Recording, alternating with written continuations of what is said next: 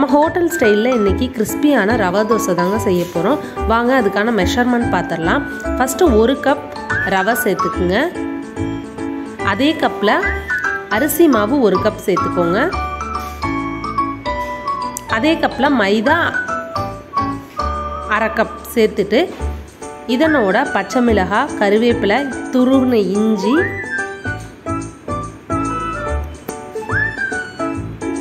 துருவின இஞ்சி எல்லாத்தையும் சேர்த்துக்கோங்க. சேர்த்துட்டு தண்ணி விட்டு நல்லா கலந்து வச்சு இது எல்லாத்தையுமே முடிஞ்ச அளவுக்கு சின்ன சின்னதாக கட் பண்ணிக்கோங்க. கட் பண்ணதோட நம்ம ஒரு அரை லிட்டர் தண்ணி இதோட ஆட் பண்ணிடணும். ரெண்டு ஸ்பூன் ஜீரகம் சேர்த்துக்கோங்க. மிளகு வந்து நீங்கள் க்ரஷ் பண்ணி போடுறதுனா போட்டுக்கலாம். நான் வந்து ஒன்றும் ரெண்டாக உடச்சி போட்டிருக்கேன். நீங்கள் இன்னும் பொடுசாக க்ரிஸ் இது இடித்து போடுறதுனால போட்டுக்கலாம். தேவையான அளவு உப்பு சேர்த்துட்டு தண்ணி. வாட்டர் பாட்டிலில் எடுத்துக்கிட்டிங்கன்னா உங்களுக்கு மெஷர்மெண்ட் கரெக்டாக இருக்குங்க. அதனால நான் வாட்டர் பாட்டிலில் வச்சு செஞ்சிட்ருக்கேன். கொஞ்சம் கொஞ்சமாக ஊற்ற நான் ஊற்றி கலருங்க ஏன்னா முதல்ல ஊற்றினோடனே நான் கட்டி பட்டுருச்சு மாவு. அதனால கரைச்சி விடுறதுக்கே ரொம்ப கஷ்டமாக போச்சுங்க. ஏன்னா மைதா மாவு இருக்குது இல்லைங்களா? அது வந்து அரிசி மாவும் மைதா மாவும் கட்டி ஆகிடும் இதை கலந்துட்டு பத்து நிமிஷம் நம்ம வச்சிடணுங்க எந்த டிஸ்டர்ப் பண்ணாத பத்து நிமிஷம் வச்சோன்னா அந்த ரவை கொஞ்சம் ஊறிடும். ஊறினதுக்கு அப்புறமா நம்மளுக்கு தேவைன்னா ரெண்டு ஸ்பூன் ரவை வந்து ஃப்ரெஷ்ஷாக அப்பன்னு வேணால் ஆட் பண்ணிக்கலாம். அந்த கிறிஸ்பினஸ் வர்றதுக்கு. நான் வந்து இதில் போட்டதே போதும்னு விட்டுட்டேன். உங்களுக்கு வேணும்னா நீங்கள் ஆட் பண்ணிக்கோங்க.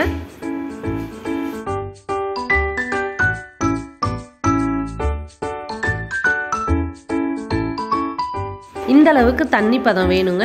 இது வந்து ஊறினோடனே மறுபடியும் நம்ம இன்னும் கொஞ்சம் ஒரு ரெண்டு டம்ளர் தண்ணி ஆட் பண்ணுவோம். அதனால இந்த அளவுக்கு ஆட் பண்ணி நீங்கள் கரைச்சி வச்சுருங்க. பத்து நிமிஷம் மூடி போட்டு வச்சுருங்க.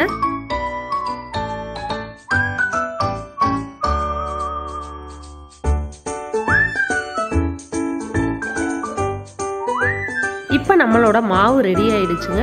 நல்லா தண்ணியாட்ட பதத்தில் இருக்குது பாருங்கள் இந்த மாதிரி இருந்தால் தான் ரவை தோசை வரும்.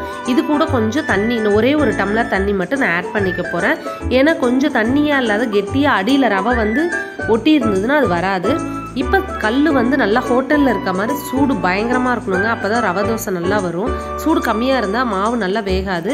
இந்த மாதிரி ஃபஸ்ட்டு ஓரங்களில் ஊற்றிட்டு அதுக்கப்புறமா கொஞ்சம் கொஞ்சமாக அந்த நடுவில் இருக்க ஓட்டைகளுக்கு ஊற்றுங்க ஏன்னா நம்ம மற்ற தோசை மாதிரி ஊற்றினோம்னா நடுவுலேயே நின்றுக்கும் இன்னும் குழி இல்லாமல் தோசைக்கல் இருந்து ஊற்றுனீங்கன்னா இன்னும் சூப்பராக வருங்க நம்மளோட ரவை தோசை.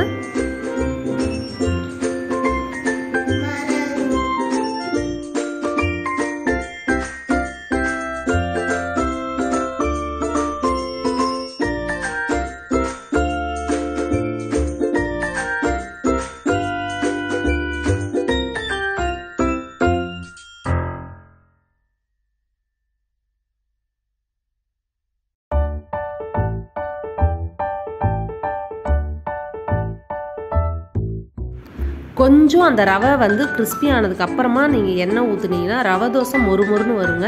நம்ம எடுத்தோடனே எண்ணெய் ஊற்றிடக்கூடாது லைட்டாக ஒரு ஹாஃப் செகண்ட் விட்டுருங்க. அந்த தோசை வெந்ததுக்கு அப்புறமா ஊற்றுங்க கரெக்டாக நான் சொன்ன மெஷர்மெண்ட் வச்சு ஊற்றுனீங்கன்னா உங்களுக்கு ரவை தோசை வந்து நான் ஊற்றுன மாதிரி இப்படி ஓ நல்ல ஓட்ட ஓட்டையாக கிறிஸ்பியாக வரும். நம்ம கொஞ்சம் மெஷர்மெண்ட் மாற்றிட்டோம்னா அது வராதுங்க.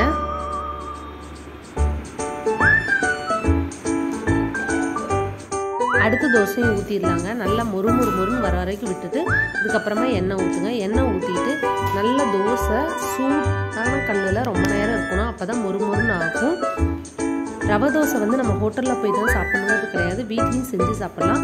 இவ்வளோ சுலபமாக செஞ்சு சாப்பிட்லாம். எல்லாருமே செய்யலாங்க. நீங்களும் இதே செஞ்சு பாருங்கள் உங்களுக்கு என்னோட ரவை தோசை ரெசிபி பிடிச்சிருந்தா ஒரு லைக் ஷேர் போட்டுக்கோங்க. ரொம்ப பிடிச்சிருந்தா என்னோட சேனலை சப்ஸ்கிரைப் பண்ணிக்கோங்க.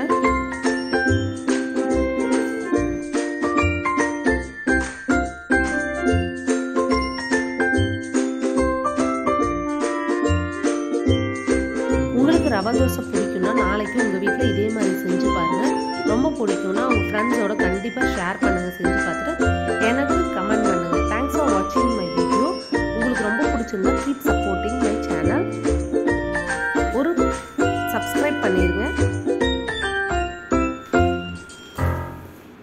தேங்க்ஸ் ஃபார் வாட்சிங்